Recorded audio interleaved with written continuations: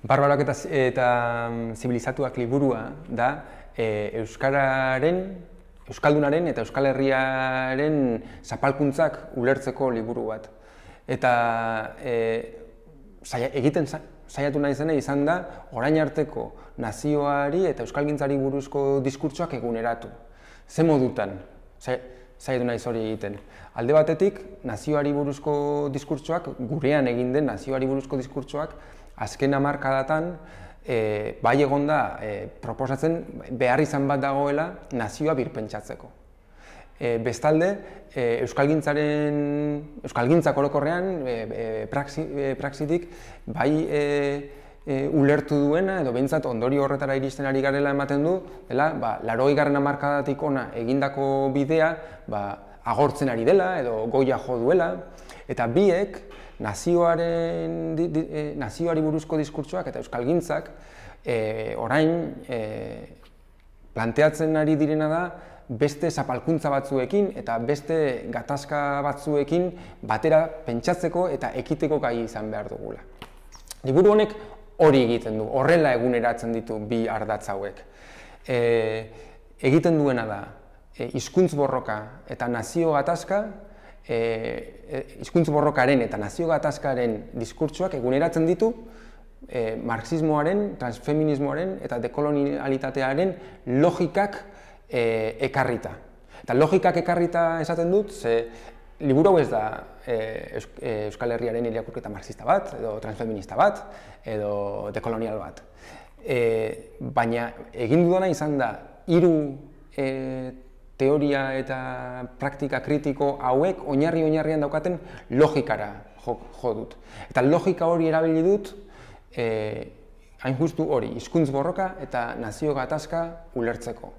Zein da oinarri oinarrian identifikatu da, dudan logika?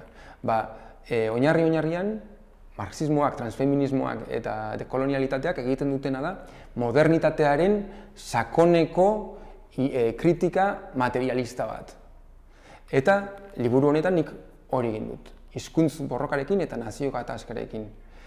E, e, logika horrek ere planteatzen duena da modernitateak e, zibilizazio proiektu bezala aurrera egiteko ezinbestekoa duela indarkeria. Eta indarkeria hori e, jasartzen duela e, kolektibo jakin batzuetan. Eta hori aztertu da, ba, kasuan kasuan, e, ekonomiari, ekonomiaren kasuan, edo e, genero eta desiren kasuan, edo e, arrazaren kasuan. E, nik hemen identifikatu dudana, logika hau jarraituta, da barbarizazio e, identifikatu dudana. Barbarizazioa da hain justu, e, izkuntz borrokan eta nazio gatazkan, e, jazarri den indarkeria hori, barbarizatua da, hain justu, Euskaldun desobediente emantzipatzailearen aurka eh, jazarri den indarkeria modernitateak, zibilizazio e, proiektu bezala aurrera egin dezan. Eta orduan, e, hori planteatzen du marko orokor bezala liburuak.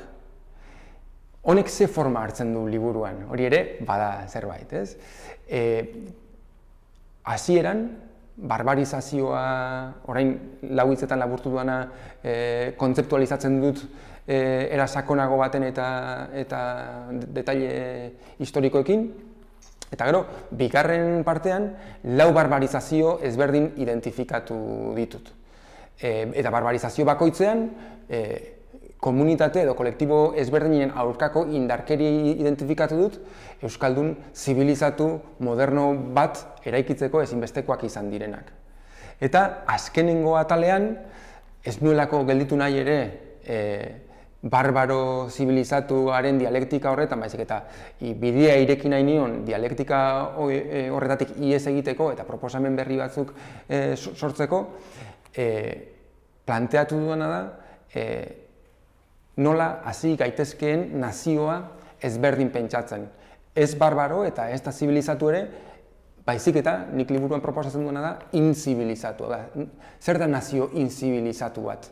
Eta adibide labur bat emateko, ba, hor nik proposatzen duena da, adibidez, ba, aberri hitza hartzea, ez? Eta denotakigu, ba, Sabino Aranaren neologismoa dela aberri, ez? Eta aba arbasoa eta arbasoaren herria, ez? Eta horrek ja badauka bere izaera zuri burgez ziz heteropatriarkala hitzean bertan. Eta nik proposatzen duena da, zer gertatuko litzateke ab, aberri horretako ab hori izango balitz latineko ab e, aurrizkia eta ez aba e, neologismoa. Orduan, ab horrek referentzia egiten dio erdigunean ez dagoenari, edo betik gora e, ekiten duenari, edo kanpotik etorritakoari. Orduan, ab herri hori izango litzateke e, hizkuntz borroka eta nazio gatazka birpentsatzeko tresna bat.